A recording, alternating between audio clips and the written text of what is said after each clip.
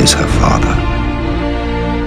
If Uther were to die, Arthur is all that stands between her and the throne of Camelot. He was ill, but now he's recovered. Uther is my father. He's been lying to me all these years.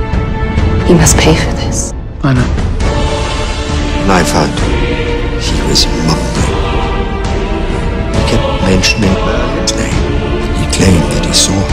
You look troubled, sire. His sole heir to the throne, Morgana. Don't worry. I'm certain the Pendragon will rule over Camelot for a long time to come.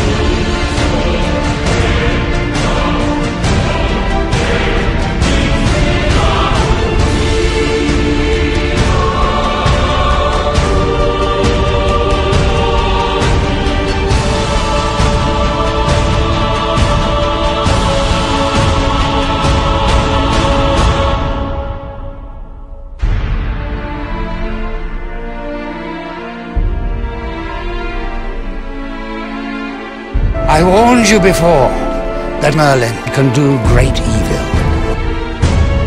I know what I saw. Don't know what's come over you. Oh, Morgana. Anything happens to Merlin, I'll find you. However long it takes.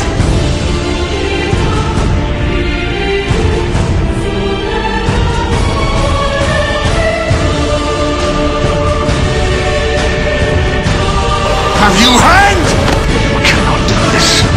You have no right to the throne! No, she does not.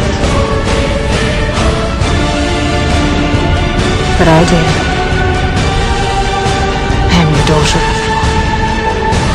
Don't be so surprised. I've known for some time. By the power vested in me, I crown thee, Morgana Pendragon, Queen of Camelot